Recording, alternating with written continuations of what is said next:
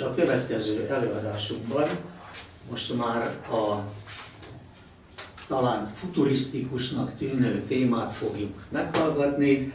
Dr.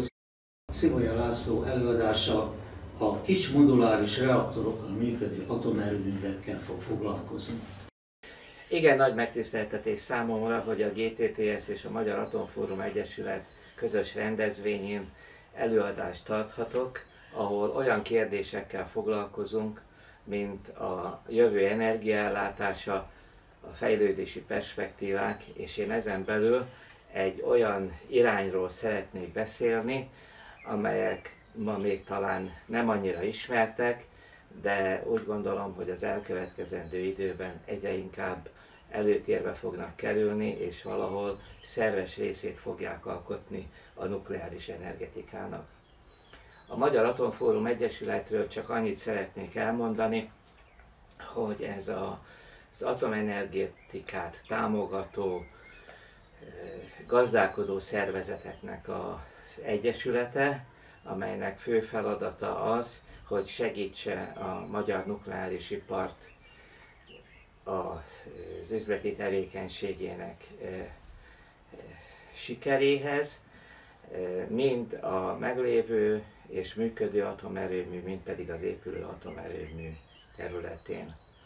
Na, egyik fontos tevékenységünk még a nemzetközi együttműködés, hasonló egyesületekkel európai szinten hasonló célokkal együttműködünk.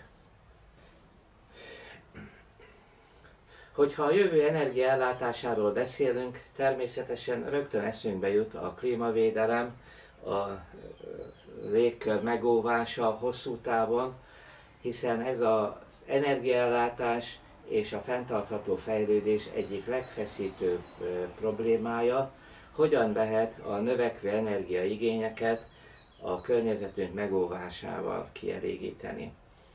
Legutóbb ugye a Párizsi megállapodás keretében vállaltak kötelezettséget az országok arra, hogy a széndiokszid kibocsátás csökkentésével megpróbálják a légkör felmelegedését lassítani, vagy esetleg akár meg is akadályozni, és azóta sok elemzés született arról, hogy ezt a célt az energetikában, a villamosenergia termelésében, az atomenergia növekvő szerepe nélkül nem lehet megoldani.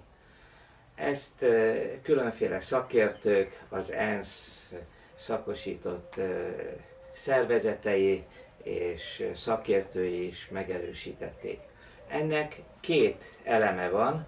Egyrészt új atomerőművek építése válik szükségessé, és elég nagy ütemben, hogyha a párizsi célokat szeretnénk teljesíteni. Másrészt pedig a meglévő atomerőművek működését a műszakilag és biztonsági szempontból lehető leghosszabb ideig biztosítani kell, hiszen ezek olyan villamosenergia forrást szolgáltatnak számunkra, amelyek széndiokszid kibocsátás nélkül, időjárási ingadozásoktól mentesen, folyamatosan, igen megbízhatóan tudnak villamosenergiát termelni. Ezek az atomerőművek kihasználtság 90% környékén az idő legnagyobb részében képesek villamos energiát termelni. Ugyanakkor, ha megnézzük a párizsi széndiokszid kibocsátás csökkentési célokat, és összevetjük ezeket az új atomerőművek építési ütemével, azt lehet látni, hogy a új kapacitások létrehozása bizony sokkal lassabb, mint amennyire ez szükséges lenne a klímavédelmi célok teljesítése érdekében. Ennek okait az OECD nukleáris energia ügynöksége elemezte, és ennek az elemzésnek az eredményeként a következő okokat azonosította. Egyrészt azt lehet látni, hogy az atomerőművek építése magas költségekkel jár, és ezek a költségek még tovább növekednek, főleg az első atomerőművet építő országokban tapasztalatok hiány és infrastruktúra hiányában. Ugyanakkor a, azt látjuk, hogy ezek az atomerőművek igen nagy teljesítményű ö, egységek, 1000, 1200, 1600 megawattot termelnek egy-egy blokkban, ami azt eredményezi, hogy ezek a berendezések, ezek az erőművek viszonylag rugalmatlanul, vagy legalábbis a terhelésnek csak azt a részét tudják legnagyobb mértékben lefedni, amelyek ebben a teljesítménytartományba ugye beleférnek. Azt lehet tapasztalni, hogy ha megnézzük az épülő blokkokat, hogy ezeknek a nagy része egyedi tervezésű, hiszen ezekből nem sok épül, és amikor egy-egy blokk vagy hasonló blokk beruházása ismét napirendre kerül, már egy csomó változás történik a műszaki megoldásokban, és ezek a blokkok az egyedi tervezés miatt elég gyakran csak határidő csúszásokkal tudnak megvalósulni. Mindez a két tényező, tehát a növekvő költségek és a, a határidő csúszások elbizonytalanítják a közvéleményt, és természetesen a vállalkozókat is. Megfigyelhető, hogy csökken az új beruházások sikerébe vetett bizalom. Nyilván a hosszú építési idő, a nagy költségek, a bizonytalan, sokszor bizonytalan gazdaságpolitikai környezet magas pénzügyi kockázatot hordoz, és hát ez nem bátorítja a befektetőket sem.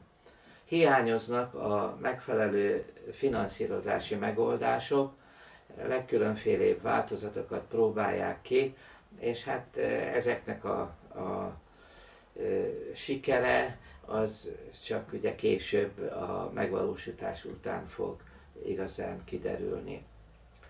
Mindezek a nehézségek, illetve azok a problémák, amelyeket az új atomerőmű építésével kapcsolatban meg kell oldani, sok fejlesztőt arra a gondolatra vezettek, hogy talán más utakat kellene járni. Az egyik ilyen lehetséges út a Ernst Friedrich Schumacher által képviselt a Kicsi Szép című elvnek az alkalmazása az atomenergiában. Ugye Schumacher, aki német-brit közgazdász és statisztikus volt, amellett tört ráncsát mindig, hogy emberléptékű fenntartható megoldásokat kell alkalmazni különféle technológiákban, és az egyik ismert mondása szerint, ugye minden intelligens megszállott képes nagyobbá és bonyolultabbá tenni a dolgokat, de hát egy csipetnyi zsenialitás és sok-sok bátorság kell ahhoz, hogy az ellenkező irányba mozduljunk el. Ez az ellenkező irány a nukleáris energetikában annak felismerése, hogy lehet kisebb teljesítményű reaktorokat építeni, jobban alkalmazkodva az igényekhez, jobban alkalmazkodva a finanszírozási, beruházási és egyéb követelményekhez. Mik is ezek a kis moduláris reaktorok? Ezeknek a, az az ismérve, hogy teljesítményük, villamos teljesítményük az a 10 és a 300 megawatt között található, felépítésük úgy van kitalálva, hogy szabványosítható modulokból állnak, ami azt jelenti, hogy ezeket a modulokat nem a helyszínen kell összeszerelni, hanem gyártóműben készíthetik elő őket a sorozatgyártás összes előnyével, vagyis nagyobb sorozat nyilván kisebb egységköltségeket eredményez, és hát a rövidebb tanulási görbék és a tapasztalatok visszacsatolása növeli a termelékenységet és javítja a költséghatékonyságot. Miután ezeket a modulokat a gyártóművekben legyártották, összerakták, ezek egy szállítható méretre, ezek a telephelyre szokásos szállító eszközökkel, tehát akár szárazföldön vagy tengeren elvihetők, ott a helyszínen összeszerelhetők. Az ilyenfajta megoldás azt jelenti, hogy a beruházás sokkal kiszámíthatóbb lesz, hiszen sokkal jobban lehet tervezni, hogy mi, mikor érkezik a telephelyre, mit mikor kell és hogyan összeszerelni, ezért az építési idő jelentősen lerövidül. A kis moduláris reaktoroknak, vagy inkább talán erőművi egységeknek, hogyha pontosabban fogalmaznánk, az a, az a fő jellemzője, hogy integrális kialakítású.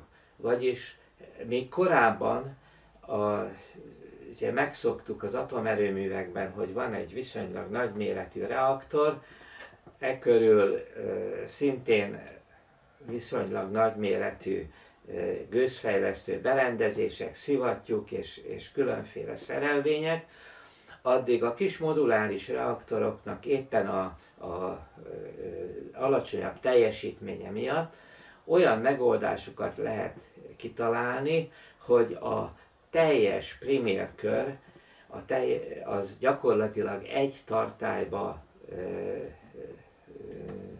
összehozható, és a sok nagy berendezés, ami ugye a nagyobb erőműveknek a jellemzője, az egy viszonylag kis helyen helyezkedik el. Ennek van számtalan előnye a biztonság szempontjából, például az, hogy ennek az egész rendszernek a hőkapacitása az kedvezően alakul a biztonság szempontjából, egyszerűbb a maguk a rendszereknek a felépítése, a tervezése, könnyebb az üzemeltetés és könnyebb a karbantartás. Egyszerű például az átrakás is, hiszen majd látni fogjuk, hogy vannak olyan kis reaktorok, amelyek egyetlen egy töltettel akár 20 évig is képesek működni. Itt ezen az ábrán azt szerettem volna bemutatni, hogy a nagy erőműveket ilyen kis reaktorok vagy kis primérköri berendezésekbe a különféle megoldások, egy nyomott vizes vagy egy forralóvizes változatban ezt hogyan oldják meg. A lényege az, hogy, hogy a reaktor, maga a hőtermelés, a, a hőből, ennek a nukleáris hasadásból származó hőből a gőz fejlesztése, amely majd a turbinák, turbinára megy, a hűtőközegnek az egész áramlása egyetlen egy tartályban valósul meg. Még mi a jellemzője ezeknek a kis reaktoroknak?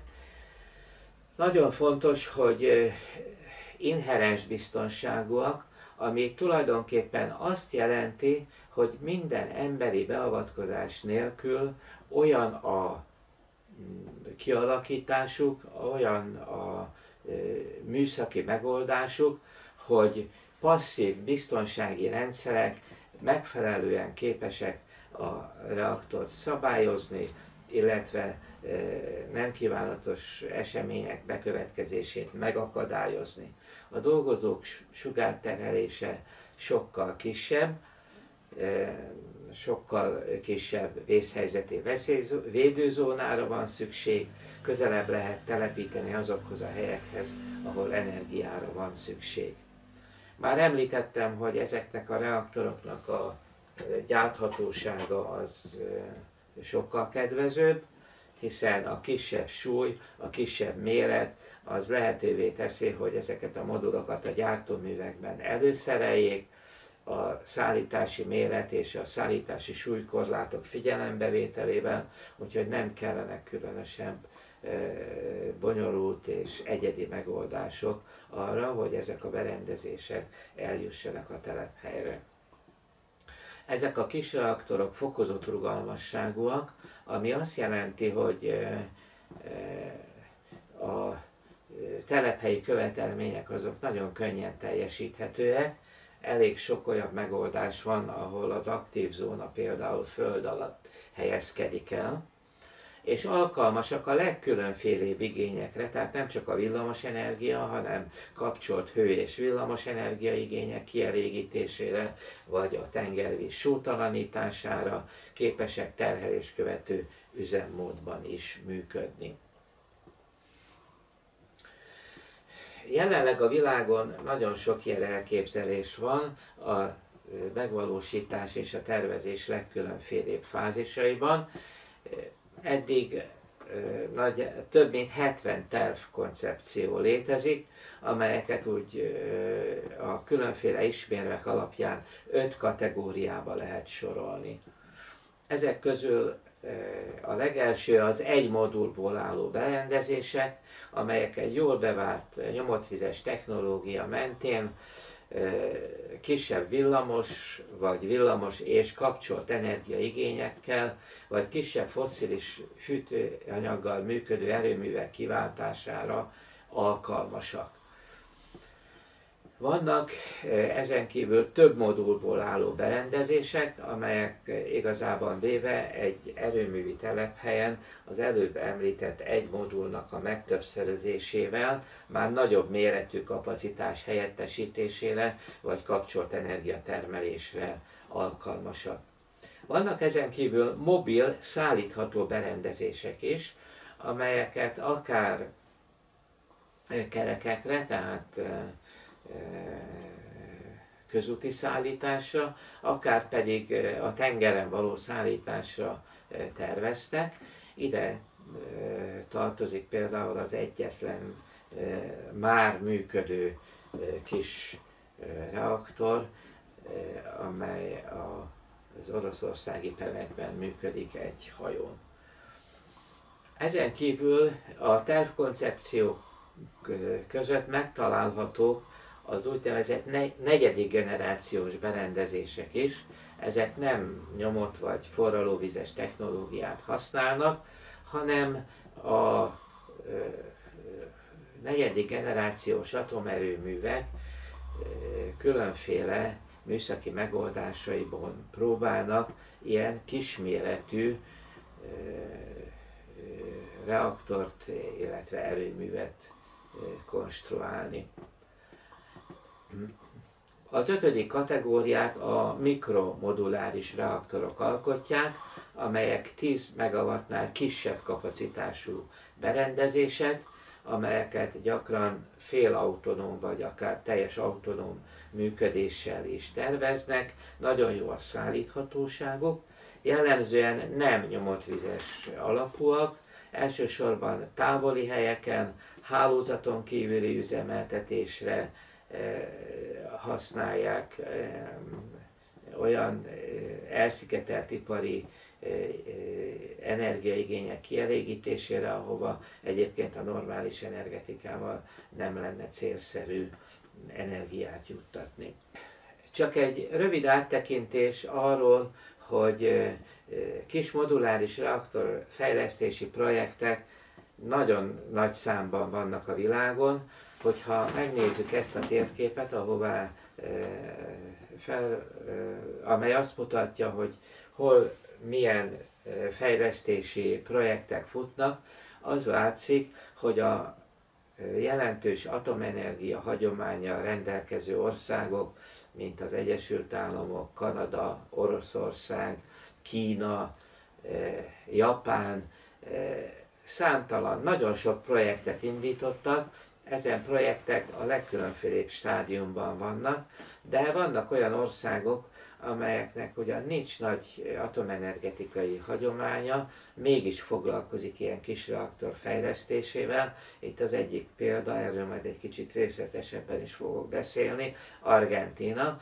ahol épül egy ilyen e, kis reaktor, és elég jó e, elő, a projekt a többiekhez képest elég jól előre haladott állapotban van. Az, hogy ezek projektek közül aztán melyek fognak iparilag érett berendezésé válni, azt ma még nehéz megjósolni, de látszik, hogy ezek a fejlesztések igazán nagy innovációs erőt és mérnöki találékonyságot mozgattak meg. Itt látható az a néhány projekt, amely már a megvalósításnak valamilyen fázisában található. Talán a legelsőt említeném, amely egy működő, hajóra szerelt atomerőmű az oroszországi pevekben, ahol egy szintén ettől a helytől nem messze működő, már hosszú évtizedek óta működő atomerőművet váltott ki a, ez a hajó, amit odavitte és elsősorban bányászati és egyéb ipari tevékenységek energiaellátását, illetve hát az ott lévő lakosságnak az energiaigényeinek a kiszolgálását szolgálja. Ha ránézünk erre az ábrára, azért az látszik, hogy ugye optimista becslések szerint, vagy optimista előrejelzések szerint is ezekből a berendezésekből ipari méretű vagy, vagy demonstrációs erőművek, létesítmények azért ugye a 30-as évek elején fognak megvalósulni. Elég hosszú és rögös lesz valószínűleg az engedélyezési fázis, és ez az engedélyezési fázis nyilván attól is függ, hogy konkrétan milyen alkalmazásra, például a lakott helyhez mennyire közeli elhelyezésre gondolnak a fejlesztők, és mennyire tudják a passzív biztonsági rendszereknek a megbízható működését az engedélyező hatóság számára meg, bemutatni. Ezek közül a projektek közül, amit itt ezen az ábrán látható, néhányat egy kicsit részletesebben is fogok ismertetni. Az, hogy az atomenergetika jelenlegi ipari berendezései egyre nagyobb és nagyobb teljesítményűek, nem volt véletlen. a beruházások, az atomerőművek létesítésével, ezen beruházások előrehaladásával egyre nyilvánvalóbbá vált, hogy minél nagyobb teljesítményű blokkokat sikerül építeni, annál gazdaságosabb lesz a villamosenergia termelés, annál kisebb lesz a teljes élettartamra számított fajlagos költség. Ennek látszólag ellentmond az, hogy most elkezdünk kis teljesítményű reaktorokkal foglalkozni. Szemléletesen ugye az látszik, hogy ha egy kis reaktor gazdaságosságát összehasonlítjuk egy nagy atomerőmű gazdaságosságával, akkor bizony még egy sor tennivaló van azért, hogy ezek legalább egy szintre kerüljenek. Milyen lehetőségei vannak a kis reaktoroknak? Első és legfontosabb, és ezt már többször hangsúlyoztam, a moduláris felépítés és a gyári szerelés. Tehát az, hogy ezek a berendezések nem a helyszínen épülnek, tehát egy beruházás tulajdonképpen e, e, rövid idő alatt befejezhető, e, gyártóművi körülmények között lehet a legkényesebb berendezéseket összeszerelni, nyilván sokkal jobb minőségbiztosítással, vagy legalábbis ennek gyártóművi kényelmével, és hát a sorozatgyártásból eredő előnyökkel. Azt már említettem, hogy az egész nukleáris sziget, a primér kör, a mai fogalmaink szerint ezeknél a reaktoroknál, vagy ezeknél az erőműveknél egyetlen egy tartályba van integrálva, tehát ez a tervezést nagy mértékben leegyszerűsíti, és mivel kis teljesítményű reaktorokról vagy erőművekről van szó, amelyekből vélhetően többre lesz szükség, ezért igen nagy tere van a szabványosításnak, ami újabb költségcsökkentési lehetőség, és mind a gyártás, a beruházás, a, helyszíni, a gyártás és a helyszíni szerelés, és az energia kielégítésének, a különféle típusú energia igények kielégítésének a harmonizálása szintén költségcsökkentő tényezőként jelentkezik. Ezért az a várakozás, hogy ezek a tényezők végül is oda fognak vezetni, hogy a kis moduláris reaktorok gazdaságilag is versenyképesekké válnak. Nagyjából egy időben, vagy nem sokkal azután, hogy demonstrációs vagy első ipari méretű létesítmények készülnek el. Szeretnék most néhány konkrét projektet bemutatni. Az egyik az Oroszországban már többször emlegetett hajóra telepített erőmű, amelynek a teljesítménye 35 MW, hőteljesítménye 150. Ez egy olyan berendezés, egy olyan létesítmény, amelynek a az áramtermelő, tehát a nukleáris része és a turbina a sziget az egy hajóra van telepítve. Ez a hajó, ezt a hajót elvontatták oda, ahol a felhasználás történik. A hajóról tulajdonképpen e, elektromos, villamos kábelek mennek ki a, a parton e, elhelyezkedő transformátor állomásra, és ez e, így működve látja el a környék eh, eh, iparát és lakosságát villamos energiával. Ez egy olyan eh, reaktor, vagy egy olyan létesítmény, amelyben még azért a teljes integritás, a korábban emlegetett integritás és a modularitás nem teljes mértékben érvényesül, hiszen itt a reaktor tartály, a reaktor keringtető szivattyúk és a, a gőzfejlesztők, azok még külön-külön edényekben külön-külön berendezésként szerepelnek. Négy hűtőkörrel működik a szivattyúk keringtetik a hűtővizet a reaktorban, ha megnézzük a hőmérsékleti viszonyokat a reaktor bemenetén és kimenetén, akkor nagyjából azt látjuk, hogy ez a, a mostani atomerőművek tartománya, illetve annál valamivel kisebb.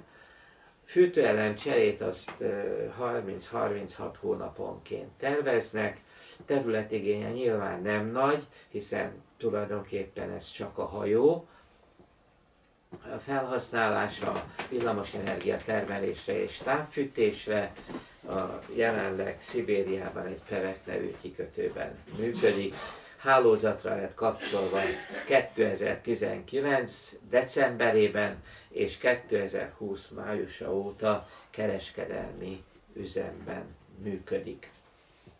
A másik nagyon érdekes megoldás, ez már egy valódi integrált kisreaktor, közös amerikai és japán fejlesztés, a korábban bemutatott nyomotvizes változattal ellentétben ez egy forralóvizes megoldás, talán aki ismeri a cégeket, azoknak nem véletlen, hogy a GE és a Hitachi az forralóvizes reaktorokban gondolkodott. ennek viszonylag nagyobb a teljesítménye, 290 megawatt a villamos teljesítménye, viszont érdekes jellemzője, hogy magában az integrált reaktor és gőzfejlesztő tartályban nincs szivattyú, a cirkuláció az természetes úton valósul meg.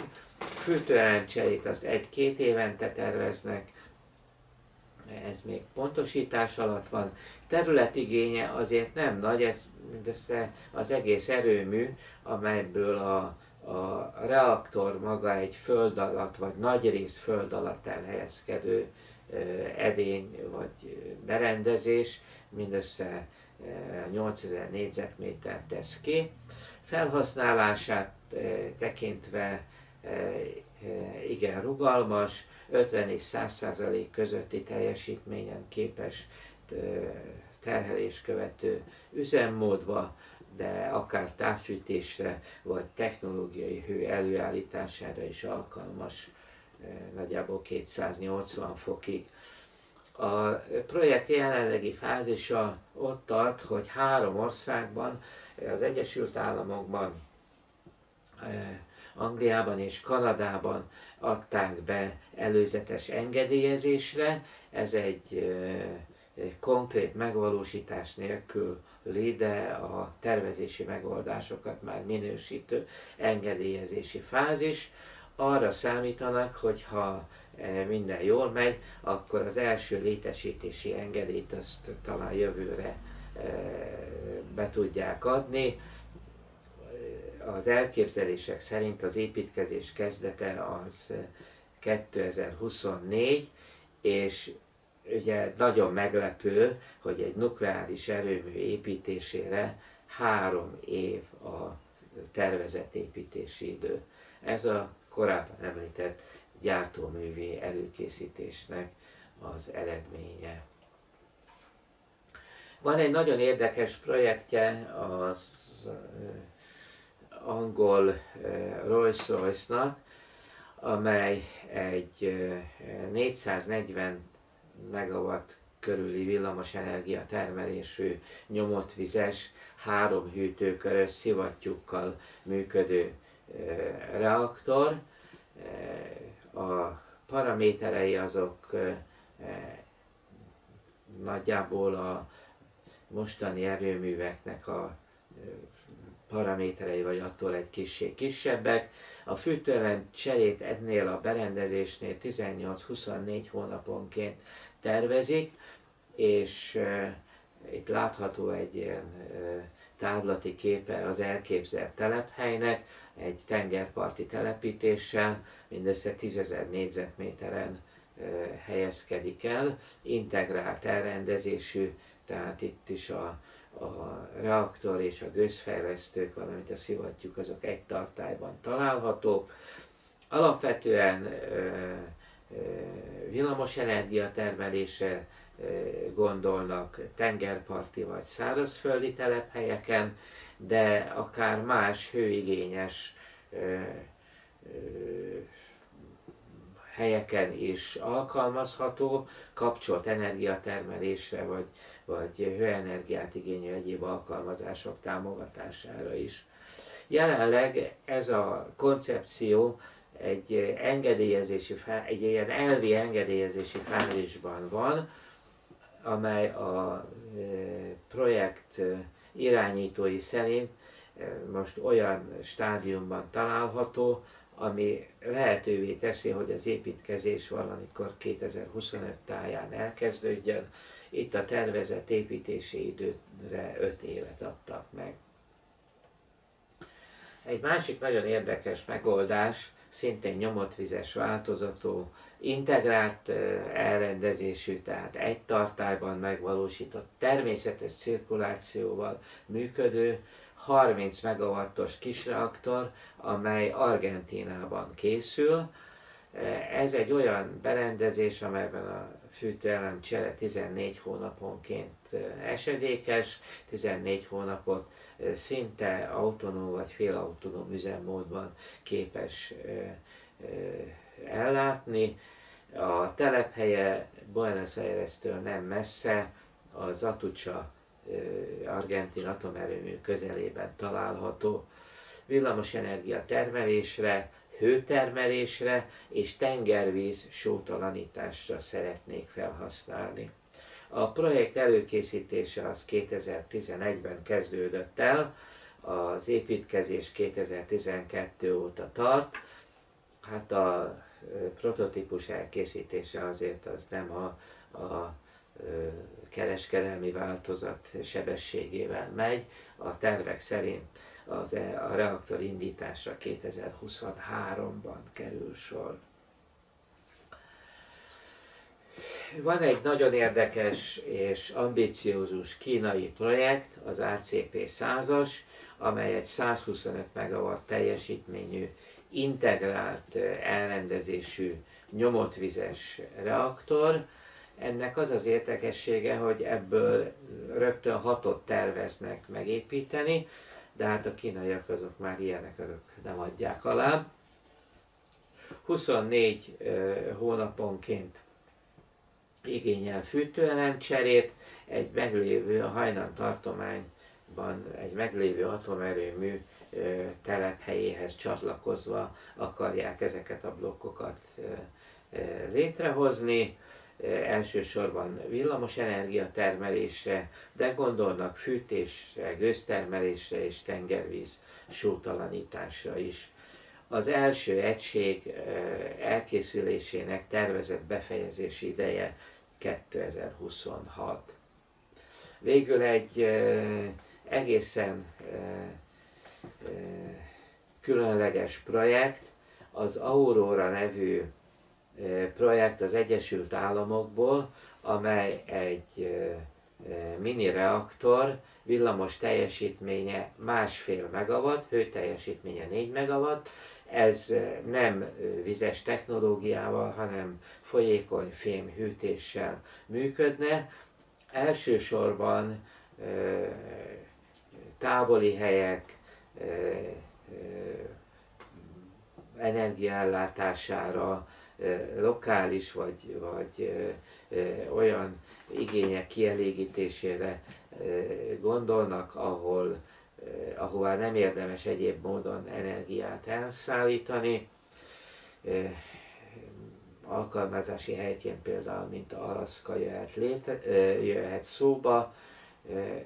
A föld feletti épülete az egy egészen dizájnos alpesi faháznak kinéző épület, a berendezések nagy része föld alatt helyezkedik el, az egész terület igénye 4200 négyzetméter, és ez az a reaktor, amit már az előadás elején emlegettem, hogy egy üzemanyag töltettel 20 évig képes működni.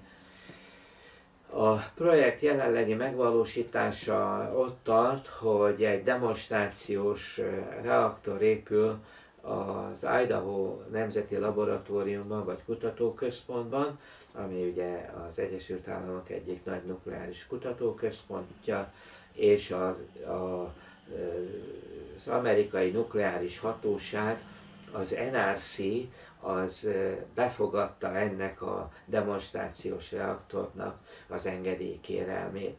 Ez egy fontos fázis az amerikai engedélyezési eljárásban, mert előtte azért egy csomó műszaki, megvalósíthatósági, biztonsági követelmény teljesülését igazolni kell, hogy egyáltalán az NRC érdemben foglalkozni tudjon, vagy foglalkozni akarjon egy ilyen berendezéssel. Hát ezek voltak azok a kisreaktor projektek, amelyek a megvalósításnak valamilyen fázisáig már eljutottak, a többi, vagy a többinek a nagy része, inkább úgy mondanám, az valahol a tervezőasztal, az elvi koncepció, a demonstrációs berendezés előkészítésének valamilyen fázisában van, hogy ezek közül aztán milyenek fognak a 30-as évek elejére megvalósulni, azt ma még nehéz megmondani, de egyértelmű, hogy ez a szektor a nukleáris energetikának egyik fontos része lesz a közeljövőben. Köszönöm a figyelmet. Megköszönöm dr. Cibolya László úr rendkívül érdekes előadását. Ezek a kis moduláris atomerőművek jelen pillanatban, mint ahogy hallottuk, még valahol a jövő édes álma körül lengedeznek, holott már azért van Pilot Project, ugye ez az orosz hajó, és láthattuk, vagy hallhattuk azt, hogy a világ számos országában, az USA-tól Argentináig, Angliától kezdve Oroszországig komoly fejlesztések folynak annak érdekében, hogy piacképes, gazdaságos projekteket lehessen ezekből a kis moduláris atomerőművekből is létrehozni. Bízunk benne, hogy ez nem csak egy édes álom, hanem a jövőben valóra fog válni, mert mint hallottuk, ténylegesen számos előnye lehet a nagy atomerőművekkel szemben, vagy mellett inkább. Tisztelt hallgatóság, ezzel mai konferenciánk véget ért. Remélem és bízom abban, hogy érdekes és új információkat kaptak. A jövőbeni villamosenergia ellátásunk perspektíváiról, lehetőségeiről, és abban is bízom, hogy a következő konferenciánkat már élő konferenciaként tudjuk rendezni, mert azért valljuk be, az interaktív együttműködés az mégiscsak valahogy kellemesebb és érdekesebb, mint ez a hidegszemű kamera. Köszönöm szépen a figyelmüket!